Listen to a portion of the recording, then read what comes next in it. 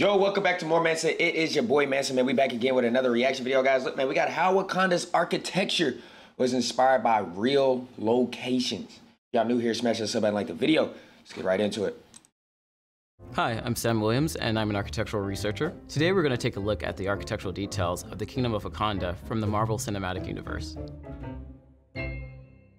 The first time Wakanda's location is hinted at is in an Easter egg in Iron Man 2, showing on Never, a map never. in Eastern 2010, Africa. dang. We get a glimpse of the kingdom at the end of Captain America, Civil War, but we got our first real look at Wakanda in the movie Black Panther.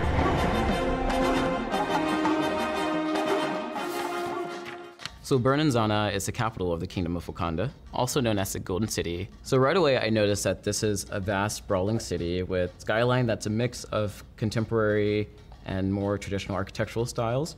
It's surrounded on all sides by a mountain range. There's a river flowing through it and a central tower that peaks out. The city does not seem to be based on a grid, and instead it seems to follow the contours of the natural features that form the city. So the city's setting within nature sort of reminds me of Nairobi in Kenya.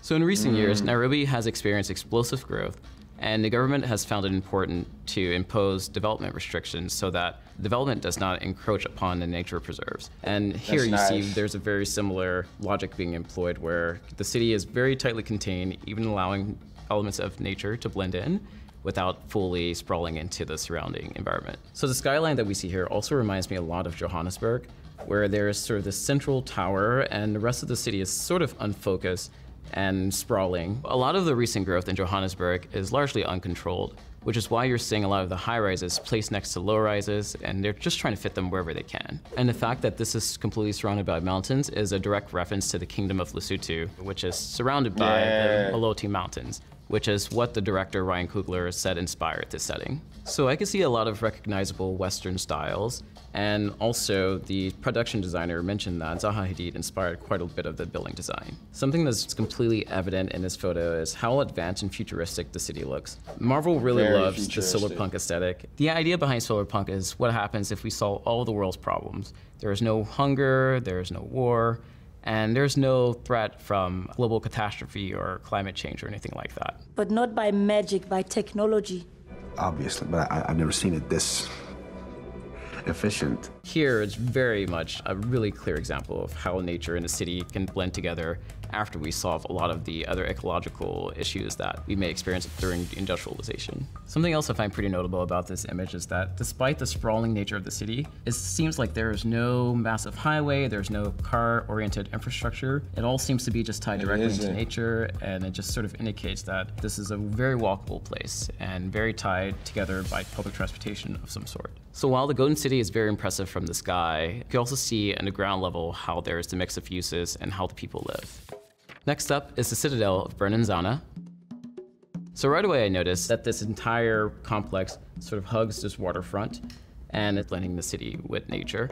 Here we also have these terrace steps that surround the building. Surrounding the base of the building, you see some of these sort of modular structures, and they're mm-hmm. very reminiscent of some of the informal settlements that we see throughout Africa, where the buildings are sort of added on as the needed we can also see similarities to the Great Mosque of Djenné and Djinguereber, which were commissioned around the 13th century by King Musa, who is considered to be one of the wealthiest Come on, man. Come on, man. These people to ever live. Some of these similarities include sort of these towering sources with these bundles of sticks called torons, which is used to help maintain a building and also provides reinforcement similar to concrete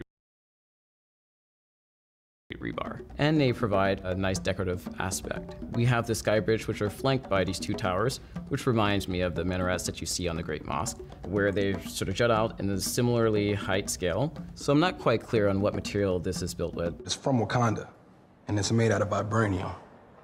But further back in here, you can see that this more directly resembles the mosque and material used in the construction. The Great Mosque was constructed using these bricks called ferey, which are earthen bricks that are compacted together and then covered with a plaster. So it's clear that they're referencing the mosque here because those were the most important structures built in those societies. And similarly, the citadel is the most important structure in the Kingdom of Wakanda. Next, let's take a closer look at one of the smaller scale buildings seen in the film. Right away, I notice this building here is a clear example where it's sort of less contemporary than the surrounding buildings. It has a thatched roof and it has sort of this more golden material and pattern that's alluding to some of the cultural examples throughout Africa. This is very clearly a reference to some of the Tata castles that we see in Western Africa. They have very similar proportions to some of the castles that we see in Scotland from the 16th century, where there are several sort of towers that are flanking this central volume and entryway. The main structure is clearly made of regolith, similar to the mosque, that we see earlier. However, those structures are a bit further north than where these are. And so as you move further south throughout Africa, you're starting to see the introduction of the thatch roof. The turrets that we see at the castle The examples are also taken and separated into their own residences. And these I are a- Tata I've seen a lot of these in uh, Limpopo.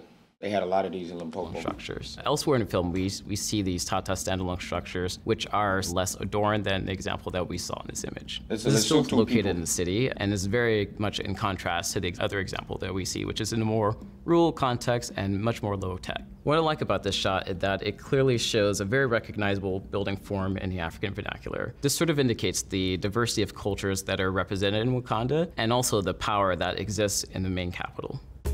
You can see this idea of social cohesion and representation in the layout of the city. Right away, you can see that the city has a circular layout as opposed to a grid, and it follows you know, this river valley and these other secondary valleys that stem out from the surrounding mountain range. In the middle, you see this moat, and there are several circular buildings that are evenly spaced surrounding the citadel, and this reminds me quite a bit of the Zulu enclosures. At the scale of the community, these Zulu enclosures The are really compound. these single room residences that are surrounding a larger courtyard. And this is largely so that each member of the family gets their own private space with some expectation of participating within a larger community. Seeing this singular civic space at the center of the city definitely reminds me of the Zulu compounds and their Wow. enclosures. You can see that South similarly in Kanda that there are several tribes that make up the kingdom, but they're somewhat autonomous, but they are still expected to participate in these more communal decision making. Tell me how to best protect Wakanda. Uh, you'll need to surround yourself with people you trust. The production designer Hannah Beachler traveled all around Africa to get an idea of how various communities were laid out. And so this is how you get this example of this circular formation with this massive importance of the civic institutions in the center. Now let's look at a building outside of the city center. Right away, what stands out to me are these intricate patterns that are carved into the structure. It mm. also seems to just emerge from the mountain and is made of the mountain, with the base being a bit wider, more pyramidal, and also being surrounded by waterfalls, and this verticality seems to be emphasized here. These intricate patterns very much remind me of the Kano house, which could be found in Nigeria. What's fun about this is that the Kano house really allowed each individual family to express their unique identity and it's sort of their own version of the coat of arms that you could find throughout other parts of the world. So the Kano houses look very different than some of the other styles that we've seen, and this is because these are usually built by upper and middle class families. Those with more means can also have the ability to individually express their, their wealth using these patterns. So the hmm. patterns that we see here in the Kano houses are also evident in the costume designs from Ruth Carter. And really similarly to the Kano houses, each of the costumes are meant to represent a specific tribe and a very unique identity. So this is one of those styles that has been built historically throughout Nigeria, but you're starting to see these appear again in the upper middle classes uh, to harken back to the roots of the area. Those are just some of the architectural details Yo, that I what I really like about it is that they actually use real references and they actually use real, you know what I'm saying, language. which makes Wakanda so unique and interesting. Let me know what you think in the comments below. For sure, man. I hope you guys enjoy my reaction, my commentary. Comment down below y'all's thoughts on this, man. I hope you guys enjoyed it. Stay tuned for the next y'all.